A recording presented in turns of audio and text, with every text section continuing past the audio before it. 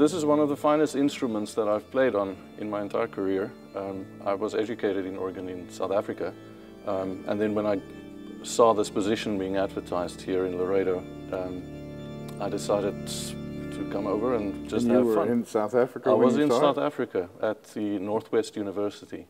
And I'm very proud in that sense that amongst the A&M system schools, we are the first organ program. How would you rank this organ compared to all the other organs in Texas, or for that Oh, this is the matter, best. in the country? This is the best in Texas. The best sure. in This Texas is, by yeah, far. Absolutely. Because of the, the console, the fact that it's, it's such a friendly console, the, the, the tonal design, the design of the concert hall itself, it's really very um, sympathetic to organ music. Wow. Well, we're glad you read the ad or whatever it was.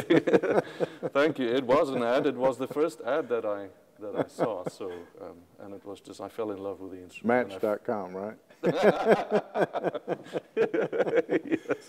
Well, I'd love to hear what it sounds like. Absolutely, sir. But I would also like you to play. I don't know anything. okay, but I'm sure Yes, you sir. don't want me playing chopsticks on this thing. Okay.